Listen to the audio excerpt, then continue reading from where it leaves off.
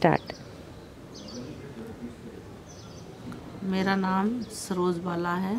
मेरे स्कूल का नाम न्यू रोशनपुरा फ़र्स्ट है। मेरे को यहाँ आकर बहुत ही अच्छा फील होया। बहुत मन की शांति मिली। चारों तरफ़ का वातावरण बिल्कुल सा, शांत और बहुत अच्छा लगा।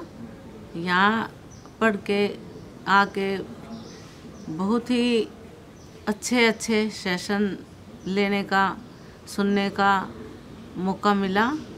इसमें बहुत सारी एक्टिविटी कराई गई। इनमें से एक एक्टिविटी जो ग्लास में पानी लेके सभी पार्टिसिपेंट के बीच में घुमानी थी, वो बहुत ही अच्छी लगी। उसमें हम बिल्कुल माइंड को कंसंट्रेट करके और बगैर पानी की एक भी बूंद गिराए उस गिलास को घुमा रहे थे और पूरा ध्यान गिलास का पानी की तरफ़ था कि एक बूंद भी गिर ना जाए। जैसे कि अर्जुन ने निशाना बांधा था और उसको सिर्फ़ चिड़िया की आँख ही दिख रही थी। इसी तरीके से हमारा ध्यान भी उस पानी की उस ऊपर वाली लेयर पे था कभी एक बूंद गिर भी नहीं जाए। और वो हमारा बहुत सक्सेसफुली रहा। बड़ा इन्जॉय किया हमने उस एक्टिविटी में। कोई ऐसा एक सेशन कोई एक ऐसा एक सेशन जो आपको बहुत ही आपके एक तो ये पानी वाला, दूसरा लिसनिंग या और कनेक्शन या माइंडफुलनेस जो भी सेशन हुए उसमें से एक सेशन जो आपको याद हो और अच्छा लगा।